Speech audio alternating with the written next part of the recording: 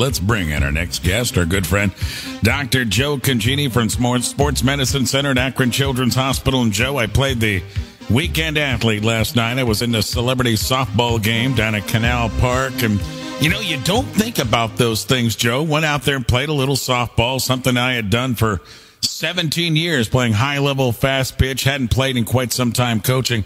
My goodness, I got up this morning. My ankles are so sore from running around there last night, my friend. Oh my gosh, that's great. Do you need me to come down to the station and do an examination on you today? Or yeah, what? I was okay. hoping you were coming off that elevator this morning. I got to tell you.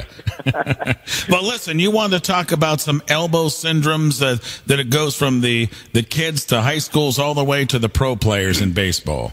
Yeah, I do, Ray. I want to talk about um, a condition. You know, I was thinking about it this week. I don't think I've ever spoken about this on your show, but it's not that uncommon.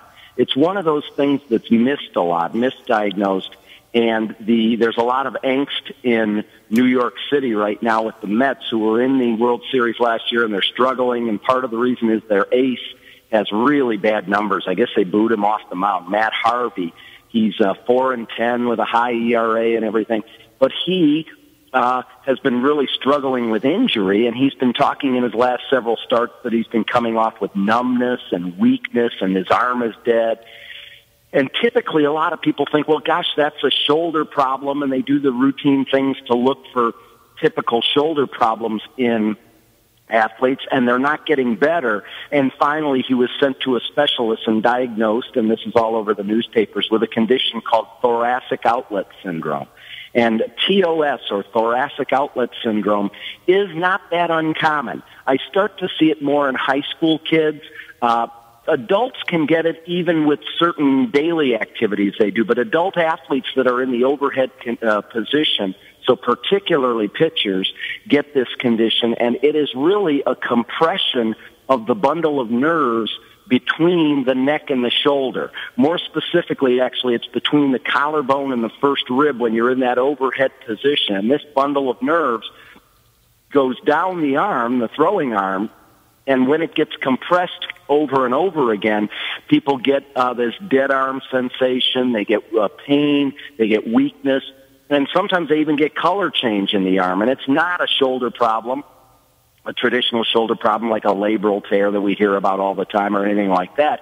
It's a compression of these, this bundle of nerves called thoracic outlet syndrome. In high schoolers, I get it in swimmers and volleyball servers and tennis servers and it, a lot of times it's the second or third, I'm referred the second or third person because they've seen other people. And if you haven't seen this before, the problem with it is the kid sits in your office and they look okay. And that was, I think, the problem with Matt Harvey. They weren't seeing anything after his starts.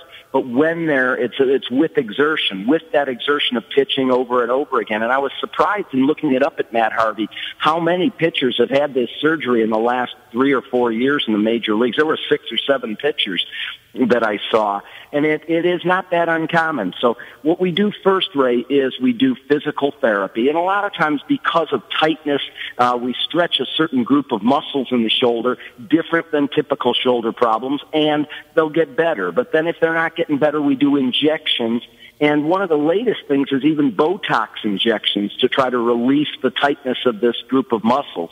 But if none of those things are working, there's a surgery called a decompression. Many times it involves taking out the first rib and this is one of those things that early in my career, this was a very common surgery being done in hospitals very, very frequently. And now as we've gotten better at the other things, it's, it's fairly rare that we have to have it done. But I would tell you that I probably have one a year, two a year with such bad TOS, thoracic outlet syndrome, they're not getting better. And the people that operate are not typical shoulder surgeons, they're vascular surgeons, uh, blood vessel surgeons that actually do the surgery. And usually it's four to six months.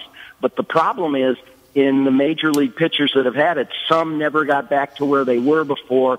Some did very well. They were talking about Jeremy Bonderman and Chris Carpenter of the uh, St. Louis Cardinals never got back to where they were before. But it's four to six months, so Matt Harvey is definitely out for the year. And this uncommon problem that occurs mainly with exertion. So you have to see the person pitch or throw or serve a tennis ball over and over again. Five minutes, ten minutes, they start getting dead arm and numbness in their hand, and they keep saying can't feel the ball to diagnose this condition known as thoracic outlet syndrome. All right, Joe. Great stuff this morning. Thanks for the, the insight. We'll catch up with you next week. I'm glad to see that you got back out there, and now maybe you're ready to uh, uh, to get playing on a regular basis. I think there is a roster spot open for the Rubber Ducks, and I'd like to see one Ray Horner uh, playing at a higher level again. Well, I'll make a call to Ken Babby and see what we can do on that. All right. All right, Ray. Have a great week. You too. Dr. Joe Congeni joining us from Sports Medicine Center at Akron Children's Hospital.